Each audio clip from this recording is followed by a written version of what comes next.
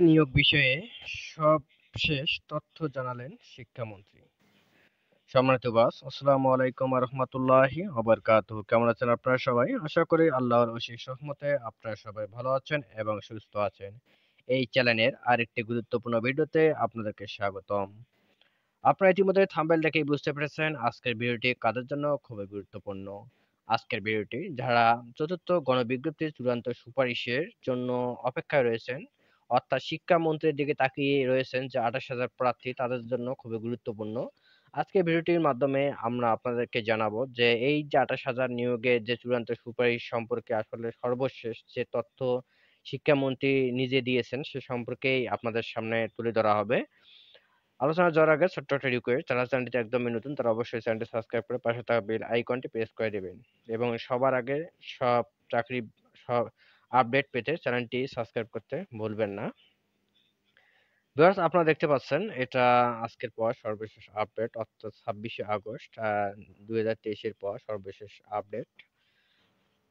আপনারা দেখতে থাকুন যে শিক্ষামন্ত্রী আসলে চতুর্থ গণবিজ্ঞপ্তি চূড়ান্ত সুপারিশ নিয়ে কি বলল। আপনারা দেখলেই, বিস্তারিত দেখলেই বুঝতে পারবেন যে আসলে আপনাদের সামনে কি অপেক্ষা করতেছে। জাতীয়করণকৃত প্রতিষ্ঠানে শিক্ষকদের নিয়োগ প্রক্রিয়ার বিষয়ে সবশেষ তথ্য জানালেন শিক্ষামন্ত্রী দীপুমণি তিনি বলেন আন্ত মন্ত্রণালয়গুলো কাজ করছে যত দ্রুত সম্ভব। প্রক্রিয়াটি নির্বাচনের আগেই সম্পন্ন করা হবে। শনিবার দুপুরে হাটহাজারীতে উপজেলার সিপাতলি জামেয়া গাউসিয়া মুইনিয়া কামিল এম এ মাদ্রাসায় জাতির পিতা বঙ্গবন্ধু শেখ মুজিবুর রহমানের আটচল্লিশতম শাহাদত বার্ষিকী ও পনেরোই আগস্টে শাহাদত বরণকারী সব শহীদদের স্মরণে দোয়া, মাহফিল ও মাদ্রাসা শিক্ষার উন্নয়নে বর্তমান সরকারের ভূমিকা ও শিক্ষকদের প্রত্যাশা শীর্ষক সমাবেশে তিনি প্রধান অতিথির বক্তব্যে এসব কথা জানান। দীপুমণি বলেন, এ দেশে ইসলামের নাম ব্যবহার করে জঙ্গিবাদ সৃষ্টি ও মানুষ হত্যা করা হয়েছিল। অথচ পবিত্র ইসলামে নরহত্যা পাপ হিসেবে একখা দেওয়া হয়েছে। তবুও একটি গোষ্ঠী সত্যকে গোপন করে মিথ্যাকে অপপ্রচার চালিয়ে যাচ্ছে। ধর্মীয় ও জাতিগত সংখ্যালঘুদের উপর ধর্মের নামে অপব্যবহার করে হত্যা ধর্ষণ, লুণ্ঠন, নিরীপণ ও নির্যাতন চালিয়ে দেশের শান্তি ও উন্নয়নে বাধাগ্রস্ত করে নানা রকম। দাঙ্গা, ফ্যাসাদ তৈরি করছে। তারা কখনো ইসলামের বন্ধু হতে পারে না।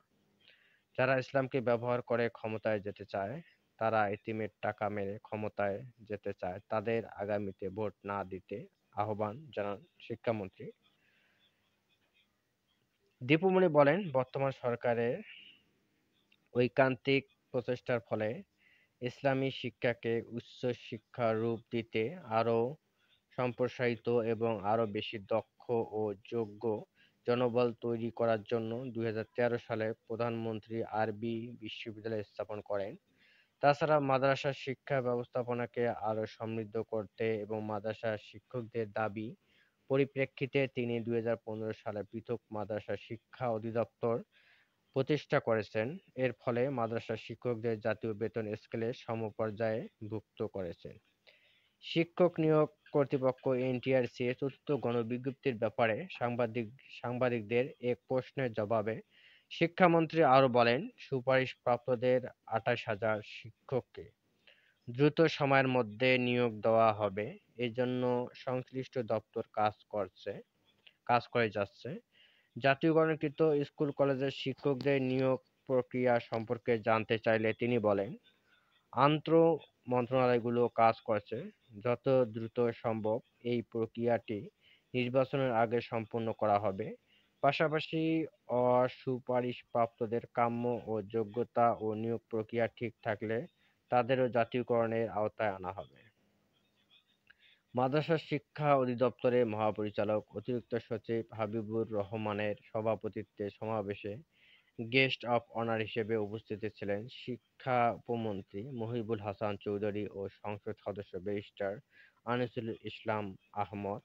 এতে বিশেষ অতিথি হিসাবে উপস্থিত ছিলেন শিক্ষা মন্ত্রণালয়ের কারিগরি ও মাদ্রাসা শিক্ষা বিভাগের সিনিয়র সচিব মোহাম্মদ কামাল হোসেন ও ইসলামিয়া আরবি বিশ্ববিদ্যালয়ের উপাচার্য অধ্যাপক ডক্টর মোহাম্মদ আব্দুর রশিদ।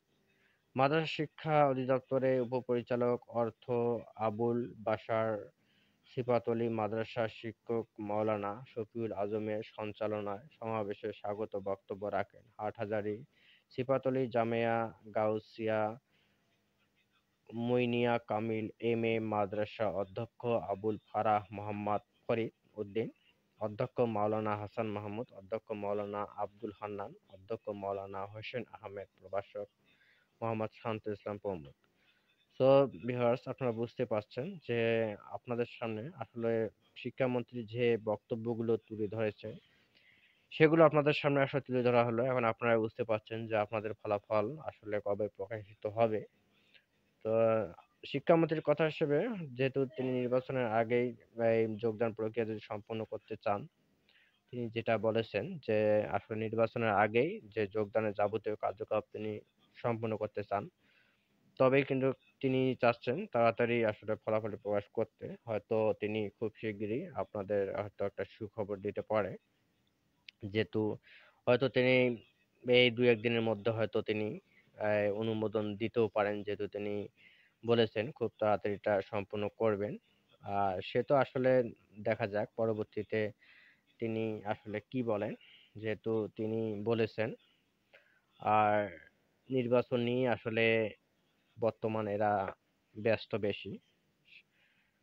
এই নির্বাচনের কারণে হয়তো কিছুটা হলো আপনাদের সমস্যা হতে পারে, চূড়ান্ত সুপারিশে কিছুটা বিলম্ব হতে পারে। তারপরে দেখা যাক, আমরা পরবর্তী আপডেট জানার চেষ্টা করব। কালকে যদি আমরা কোনো চতুর্থ, কোনো বিজ্ঞপ্তি সর্বশেষ কোনো আপডেট পাই, অবশ্যই আপনার সাথে সাথে আমরা জানিয়ে দেবো। সো আপডেটগুলো পেতে অবশ্যই চ্যানেলটি সাবস্ক্রাইব করবেন। আর যারা পেজ থেকে দেখতেছেন পেজটা অবশ্যই ফলো করবেন। আপনারা সবাই ভালো থাকুন, সুস্থ থাকুন। আল্লাহ হাফেজ।